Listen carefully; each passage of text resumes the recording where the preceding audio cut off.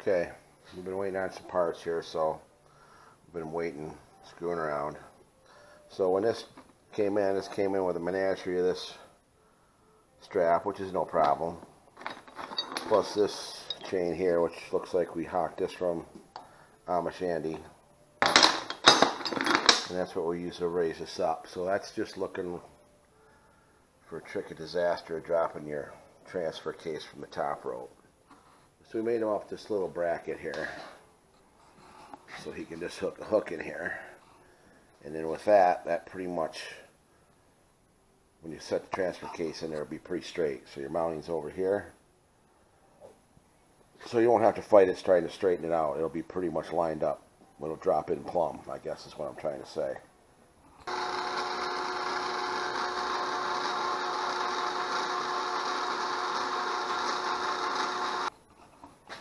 We burnt that out of some plate, bent that up. Used two of the PTO bout mounting, mounting holes and bolts bolted on there.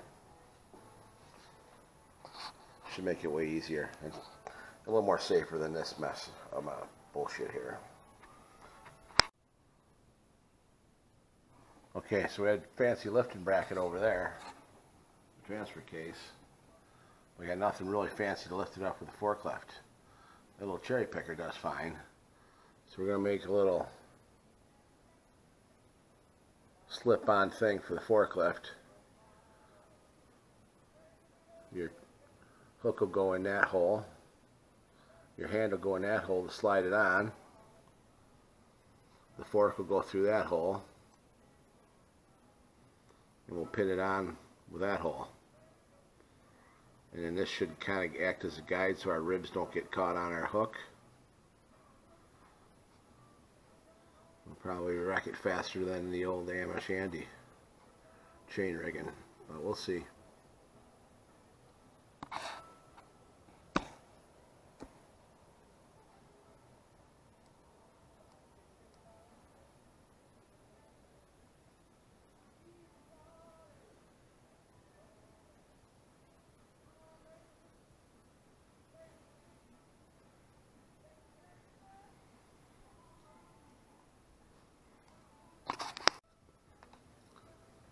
And here's all our pieces nested out. Going to take about a foot by a two foot piece of plate. And then that's all the parts that we're going to need we'll burn them out while they're up.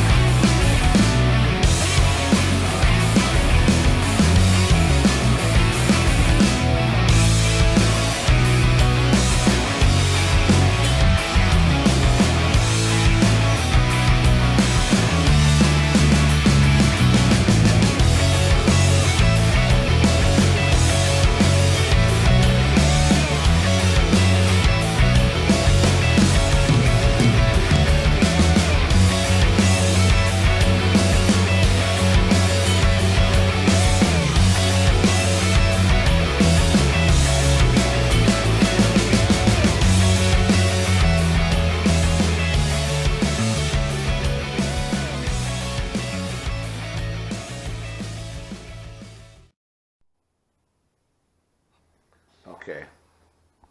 There's the first one finished up. It's not for lifting super heavy duty shit, but at least you have a little something that you got a hook on the end or a point on the end that doesn't slide on the fork. So you at least got somewhat control over what you're lifting. Bremcorp made a real nice set for the one forklift we got at work. Out of some heavy like D-rings that go on a semi-trailer and some big heavy square tubing, rectangle tubing. They turned out nice. Two of them he's got. Of course, of course, we left, forgot to weld these pieces in. That would have spaced that out perfectly. Of course, we got this in there cockeyed. It doesn't really matter, but if we'd have just done it right, it'd have come out better. But we're too stupid to do it right. My party's a real big hit today. All my friends came over. I wish some of the guys I worked with would have showed up. But, you know, maybe next time they'll come.